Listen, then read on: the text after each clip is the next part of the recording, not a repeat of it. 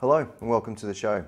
In this week's episode, we're going to take a look at the SparkFun lithium polymer USB battery charger. It's an all-in-one module that you can connect a battery to, your project to, and external power to, and make your project run similar to a laptop configuration with uh, the power, the battery permanently connected, and everything seamless.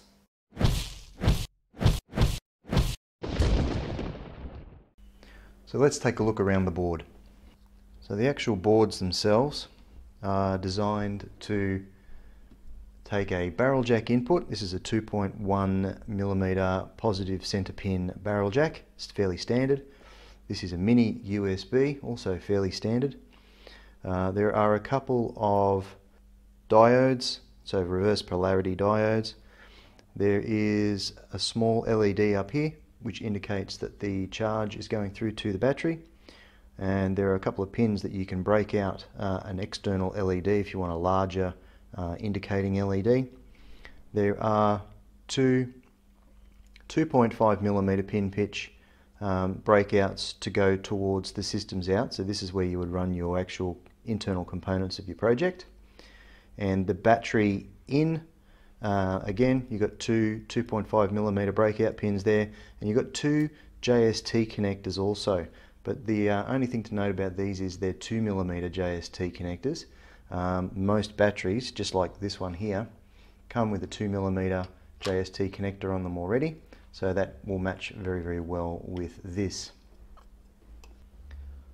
Also on the board, we have a selectable uh, via solder or via cutting, a selectable uh, charge rate so this particular board out of the box is rated at 500 milliamps. So it'll do a half, hour, half amp charge out of this JST pin to your battery.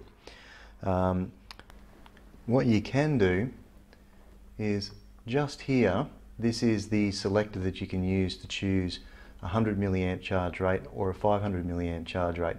500 milliamps is the default. So these two are actually joined already, very, very fine joiner. You can see just in that join bracket right there. And that means that this will charge at 500 milliamps by default. If you want 100 milliamps, you cut this join just here and you join these two pads together and you'll get a 100 milliamp charge rate. If you want a 600 milliamp charge rate, solder a bit of solder over all three pins and you'll get a 600 milliamp charge rate. But what you can also do, I've done one here already, is cut this gap here, which I've already done, and solder in a resistor of your choosing. So I've got a 1000 ohm resistor here to give a, in this case, a 1 amp charge out of this systems out pin. So we'll just take a look at the uh, formula that they use. So that's the formula they use to be able to select the resistor value here. And because this is a microchip integrated circuit, um, this is a, a, proper IC charging circuit to be able to charge your single cell lithium ion or lithium polymer battery through this jack here. Uh, that will give up to 1.5 amp charge rate. So using these two connectors, you can put up to 6 volts through that jack and up to 6 volts through this mini USB um, at whatever amperage you like and you'll get a 1.5 up to 1.5 amp charge rate out of this microchip into the JST connector charging up your battery. So in my case for my next project I'll actually be using a nice big 4 amp hour lithium ion battery and I've set uh, one of these boards already to a 1 amp hour charge rate and that's so that I can charge that big battery in 4 hours. And I've got a switch mode power supply here.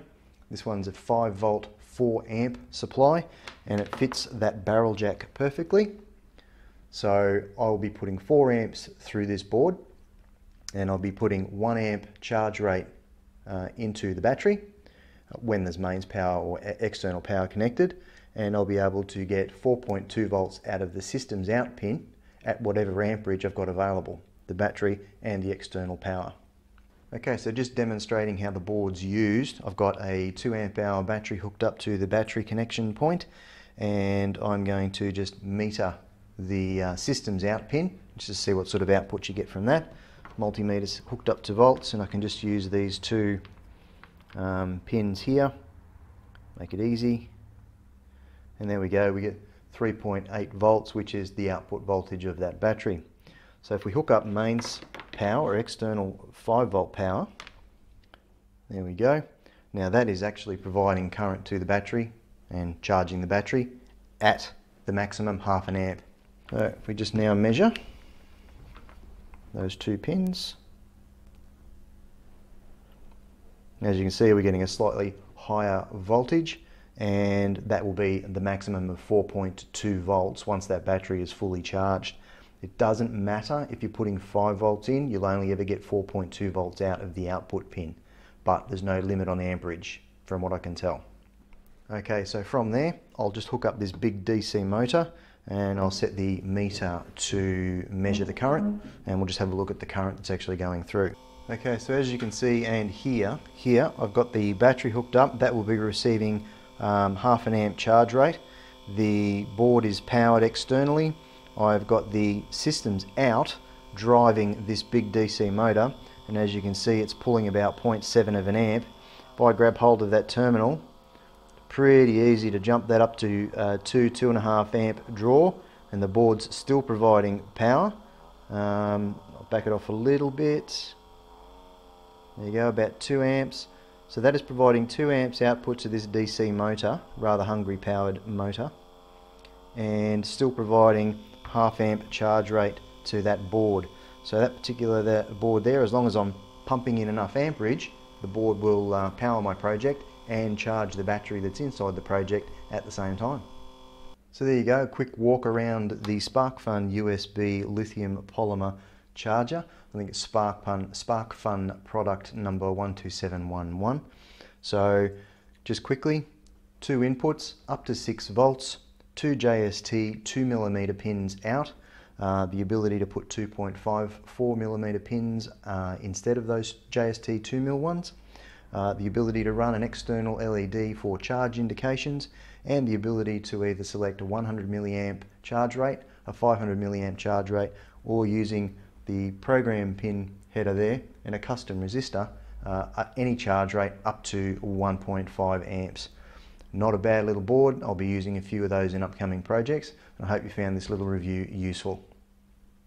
So thanks very much for joining me and watching the show. Subscribers are always welcome, so feel free to subscribe. That would be great. And I hope you'll join me again next week.